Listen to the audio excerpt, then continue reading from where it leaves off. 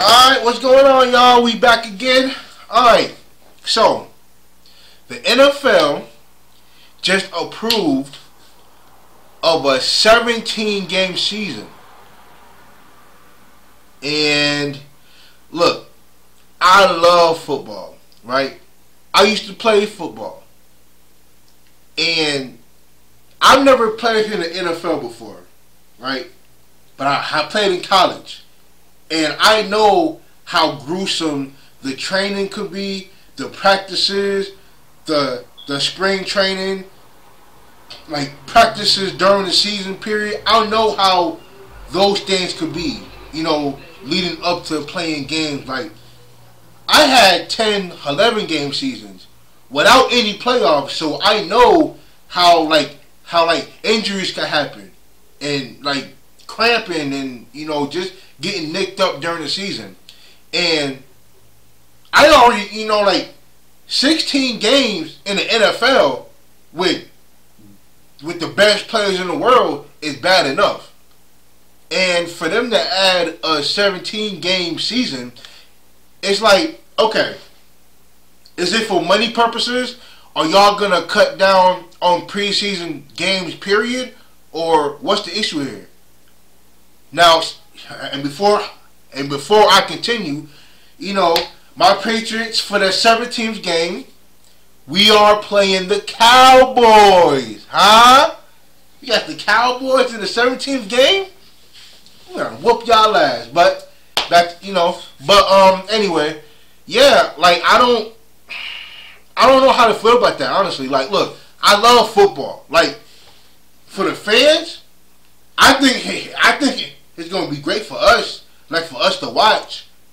Like I'm sure, like I'm sure, like fans all over the world are jumping up and down about this because we'll have a much longer season.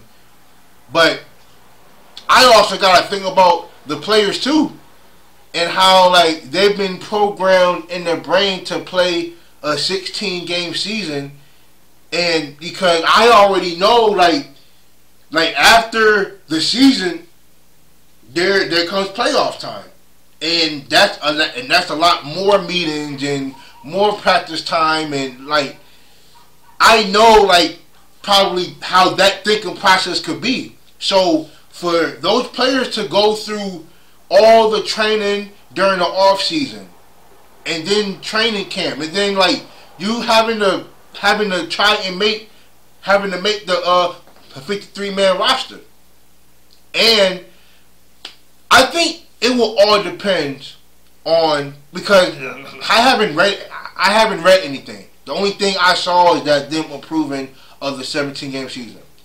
But we also have to think about like what does the preseason look like? What does the training camp look like?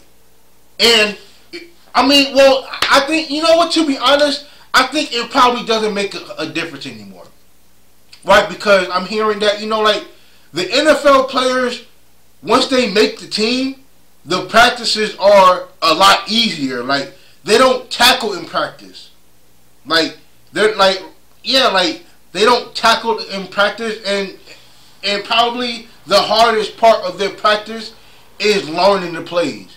Like from how I looked at it, right? Like it was 75% like in high school it was 75% field work, 25% film room. In college, it was 50-50. You know, with classroom work and then field work. And in the pros is 75% classroom film study and 25% field work.